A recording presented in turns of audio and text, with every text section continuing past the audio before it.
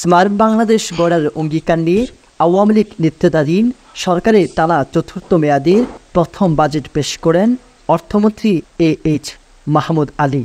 বৃহস্পতিবার জাতীয় সংসদে দু হাজার চব্বিশ পঁচিশ অর্থ বছরের প্রস্তাবিত বাজেট পেশ করেন তিনি।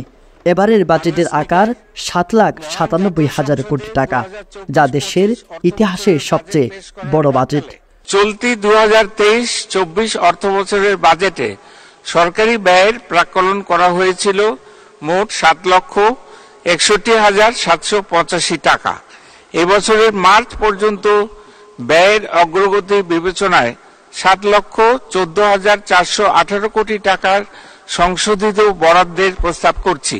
এ সময় দু হাজার চব্বিশ পঁচিশ অর্থ বছরে রাজস্ব আদায় বৃদ্ধি ও কর পরিপালনে বৃদ্ধির লক্ষ্যে প্রস্তাবিত বাজেটে এলইডি বাল্ব, টিউবলাইট বিভিন্ন ধরনের জুস ম্যাঙ্গোবার রোলিং ব্যাপার নিরাপত্তা সেবা, নিলাম সেবা, রেফ্রিজারেটর ও এয়ার কন্ডিশনার সহ তেরোটিরও বেশি পণ্য ও পরিষেবার উপর মূল্য সংযোজন কর বাড়ানোর প্রস্তাব করেন অর্থমন্ত্রী।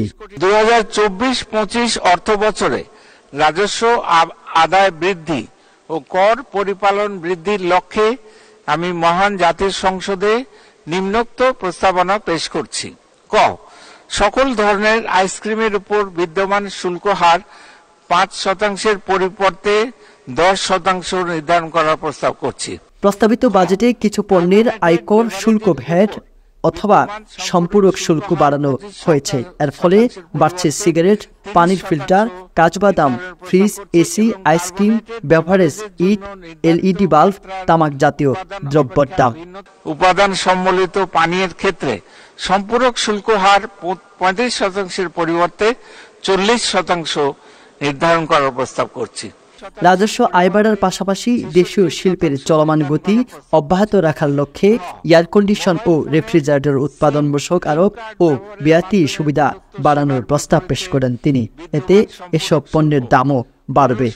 এয়ার কন্ডিশনার উৎপাদনের ক্ষেত্রে স্থানীয় উৎপাদন পর্যায়ে বিদ্যমান শূন্য শতাংশের পরিবর্তে সাত দশমিক পাঁচ শতাংশ মূসক আরোপ সহ রেয়াতি সুবিধার মেয়াদ মেয়াদ এক বছর বর্ধিতকরণের প্রস্তাব করছি এবং খ, রেফ্রিজারেটর ও ফ্রিজার উৎপাদনের ক্ষেত্রে স্থানীয় উৎপাদন পর্যায়ে বিদ্যমান পাঁচ শতাংশের পরিবর্তে সাত দশমিক পাঁচ শতাং- শতাংশ মূসক আরোপ সহ রেয়াতি সুবিধার মেয়াদ মেয়াদ এক বছর বর্ধিতকরণের প্রস্তাব করছি।